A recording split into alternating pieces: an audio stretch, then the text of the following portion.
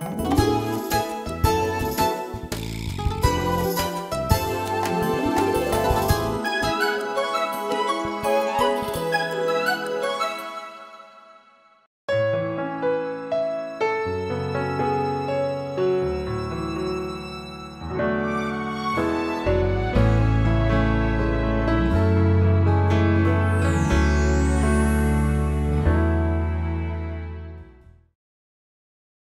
วัสดีครับ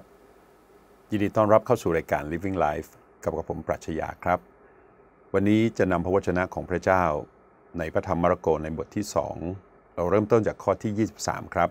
ไปจนถึงบทที่ 3 ในข้อที่ 6 ครับ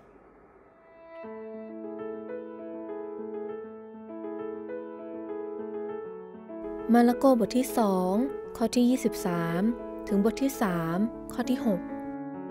ในวันสบาโตหนึ่งขณะพระองค์กำลังเสด็จผ่านทุ่งนา และเมื่อพวกสาวกของพระองค์กำลังเดินไปนั้น พวกสาวกก็เริ่มเด็ดรวงข้าว พวกฟาริสีจึงถามพระองค์ว่า ดูสิทำไมพวกเขาถึงทำสิ่งที่ต้องห้ามในวันสบาโต พระองค์จึงตรัสกับพวกเขาว่า พวกท่านยังไม่ได้อ่านสิ่งที่ดาวิดทำเมื่อท่านและพักพวกหิวและต้องการอาหารหรือ คือในสมัยที่อาบียาธาเป็นมหาปุโรหิต ท่านได้เข้าไปในพระนิเวศของพระเจ้า และรับประทานขนมปังเฉพาะพระพัก ซึ่งเป็นสิ่งต้องห้ามสำหรับทุกคน เว้นแต่พวกปุโรหิตเท่านั้น และยังส่งให้คนที่มากับท่านรับประทานด้วย พระองค์จึงตรัสกับพวกเขาว่า วันสบาโตนั้นทรงตั้งไว้เพื่อมนุษย์ ไม่ได้ทรงสร้างมนุษย์ไว้เพื่อวันสบาโต ราะฉะนั้นบุตรมนุษย์เป็นเจ้าเป็นนายเหนือวันสบาโตด้วย แล้วพระองค์เสด็จเข้าไปในธรรมศาลาอีก และมีคนที่มือข้างหนึ่งรีบอยู่ที่นั่น คนเหล่านั้นคอยเฝ้าดูว่า พระองค์จะรักษาโรคให้คนนั้นในวันสบาโตหรือไม่ เพื่อจะหาเหตุฟ้องพระองค์ พระองค์ตรัสกับคนมือรีบว่า มาข้างหน้าเถอะ แล้วพระองค์ตรัสกับคนทั้งหลายว่า ในวันสบาโต ควรจะทำการดีหรือทำการร้าย ควรจะช่วยชีวิตหรือทำลายชีวิต คนทั้งหลายก็นิ่งอยู่ พระองค์ทอดพระเนตรดูรอบๆ ด้วยพระพิโรธและเสียพระทยัยที่จิตใจของพวกเขากระด้าง แล้วพระองค์ตรัสกับชายคนนั้นว่า จงเหยียดมือออกเถิด เขาก็เหยียดออก และมือของเขาก็หายเป็นปกติ พวกฟาริสีจึงออกไป และปรึกษากับพรรคพวกของเฮโรดทันทีว่าทำอย่างไรพวกเขาถึงจะฆ่าพระองค์ได้ พระวจนะของพระเจ้าในตอนนี้นะครับ สามารถแบ่งเป็นสองช่วง แต่ว่ายังคงเป็นเรื่องที่มีความต่อเนื่องกัน ในบริบทตรงนี้ก็คือเหตุการณ์ที่เกี่ยวกับเรื่องของวันสบาโตครับ ถ้าเราย้อนกลับไปเนี่ยเราจะพบว่าพระเยซูคริสต์เริ่มพระราชกิจของพระองค์แล้วทำให้ชื่อเสียงของพระองค์นั้นโด่งดังทีเดียวครับ มีคนสนใจที่จะเข้ามารับการรักษาเยียวยาบำบัด จากโรคภัยไข้เจ็บ รวมทั้งผีมารซาตานที่เบียดเบียนชีวิตของพวกเขาขณะเดียวกันเองเนี่ยผู้ที่ให้ความสนใจกับพระเยซูคริสต์ก็จะมีอีกด้านหนึ่งก็คือกลุ่มผู้นำศาสนายิว คือพวกฟาริสีธรรมจารย์อะไรพวกนี้นะครับ เหตุการณ์มันก็เริ่มต้นจากที่ว่ามีคนง่อยที่หย่อนลงมาจากหลังคาเนี่ยนะครับ แล้วก็พระเยซูได้ทรงตรัสบอกว่าเขาเนี่ยได้หายจากการเป็นง่อยได้ด้วยความเชื่อ แล้วก็โดยที่เขาเองจะได้รับการยกโทษบาปไปด้วย ซึ่งก็ทำให้เกิดคำถามว่าพระองค์เนี่ยมีความสามารถทำไมถึงพูดแบบนั้นได้ ผู้นำศาสนาก็เลยติดตามพระองค์มาตลอด และโดยเฉพาะมาเจอเหตุการณ์ถัดมา ไม่ว่าจะเป็นการเรียกแมทธิวคนเก็บภาษี ให้มาเป็นสาวก แล้วก็ไป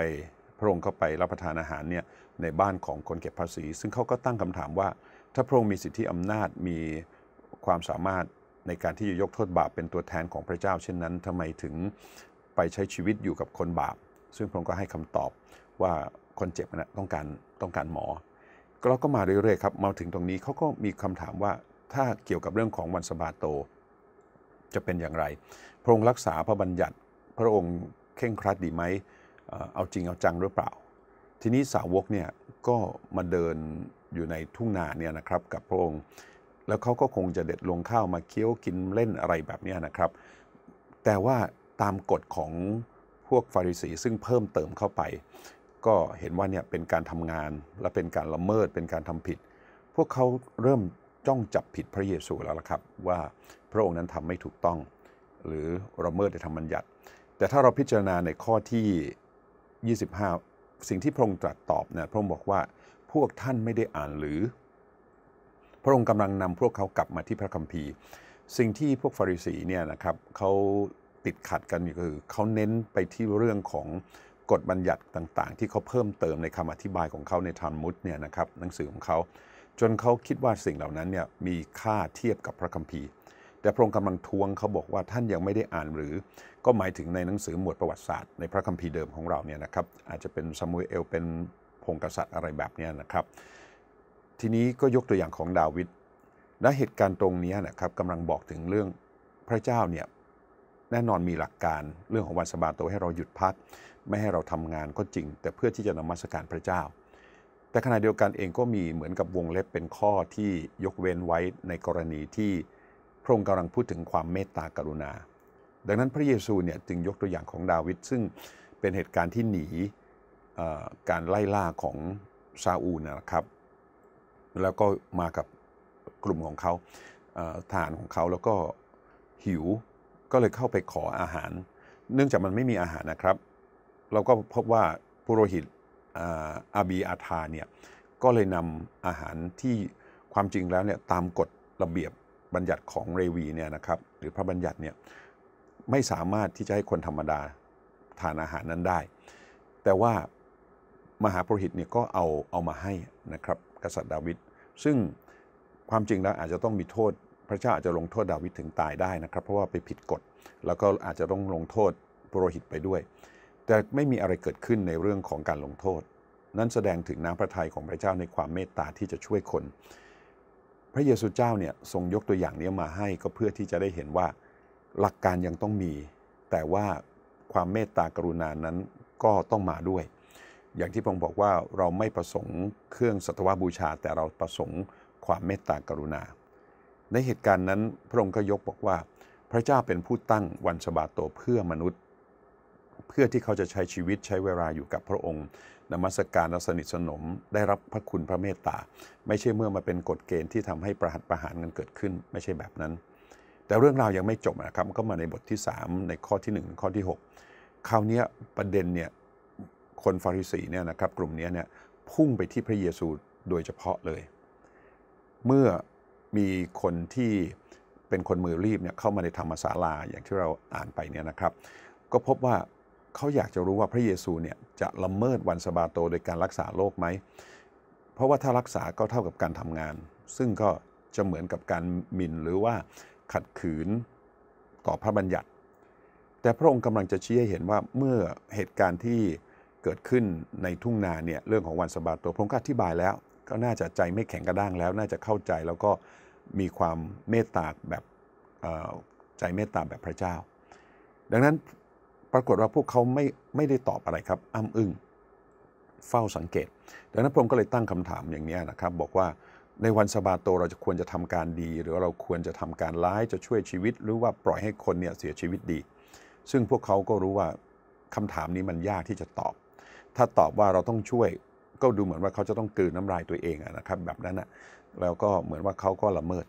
แต่ถ้าเขาไม่ตอบก็ก็ดูเหมือนว่าเขาเป็นคนใจร้าย ดังนั้นเขาก็เลยนิ่ง มันทำให้มีภาพของอันนึงออกมาก็คือความใจแข็งกระด้าง ดังนั้นพระเยซูเนี่ยก็โกรธกับพวกต่อพวกเขาเหมือนกันนะครับ พระองค์ก็รักษาชายคนที่มือรีบนั้นด้วยความอัศจรรย์ ประเด็นอยู่ตรงนี้ไม่ใช่เรื่องของแค่การอัศจรรย์นะครับ แต่ยังเป็นเรื่องของจิตใจที่มีความเมตตากฎเกณฑ์เป็นเรื่องที่ดี หลักการเป็นเรื่องที่ถูกต้องที่เราต้องยึดถือครับ แต่ขณะเดียวกันเองก็ควรจะมีวงเล็บว่าความรักความเมตตากรุณาต่อเพื่อนมนุษย์ เป็นสิ่งที่สำคัญครับการสัจจ์สามารถเกิดขึ้นในวันธรรมดา หรือในวันสบาโตก็ได้ ในธรรมศาลาหรือที่ไหนก็ได้ ถ้าที่นั่นมีหัวใจของความรักของพระเจ้า อันนี้เป็นประเด็นที่สำคัญที่สุดครับ ดังนั้นความถูกต้องกฎเกณฑ์อำนาจสิทธิอำนาจอะไรพวกนี้ก็ต้องใช้นะครับ ใช้อย่างให้เหมาะสม ความรักก็ต้องเอานำเข้ามาอย่างให้มันที่เรียกว่าความสมดุลครับ อย่างนี้ก็จะใช้ชีวิตได้อย่างเหมาะสมครับ วันนี้ขอพระเจ้าอวยพรพระวจนะของพระเจ้าสำหรับท่านทั้งหลายนะครับ แล้วให้เราที่ฐานด้วยกันครับ สาธุการแด่พระเจ้าพระบิดา ขอให้เรามีความรักของพระองค์ ความรักไม่ได้ทำลายหรือลบล้างกฎเกณฑ์หรือหลักการของพระเจ้า แต่เป็นการใช้ความรักนั้นผสมผสานกับความถูกต้อง ให้ออกมาเป็นความงดงามเป็นศิลปะ ขอพระเจ้าทรงให้เราได้มีสติปัญญาในการใช้ อย่างถูกต้องไม่ใจแข็งกระด้าง แต่เป็นใจที่อ่อนโยน อ่อนสุภาพ อ่อนนุ่ม และมีความรักต่อเพื่อนบ้าน เหมือนอย่างที่พระเยซูคริสต์รักชายมือรีบ หรือที่มีความรักต่อสาวก และประชาชนทั่วไป ขอให้เราเป็นหัวใจอย่างพระองค์เถิด จึงขอพรจากพระองค์ในนามพระเยซูคริสต์เจ้า อาเมน